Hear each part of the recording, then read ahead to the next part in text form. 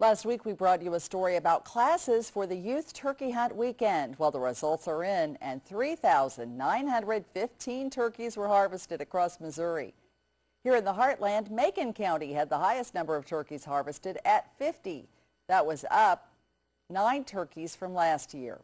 Adair County also had a good harvest, but its numbers were lower compared to last year with a harvest of 28 turkeys. That's 14 less than last year. No cause for alarm by the lower numbers this year. It was actually the weather that caused lower numbers at the Youth Turkey Hunt weekend.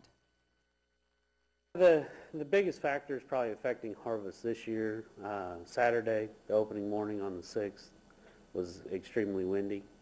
Uh, youths are allowed to hunt all day, but all day we had gusts between 20 and 30 miles an hour, which just inhibits the ability to, to hunt them properly. And they just, they kind of stay closer to shelter when the wind's blowing that, that hard. Now, the regular hunting season starts April 15th and runs through May 5th.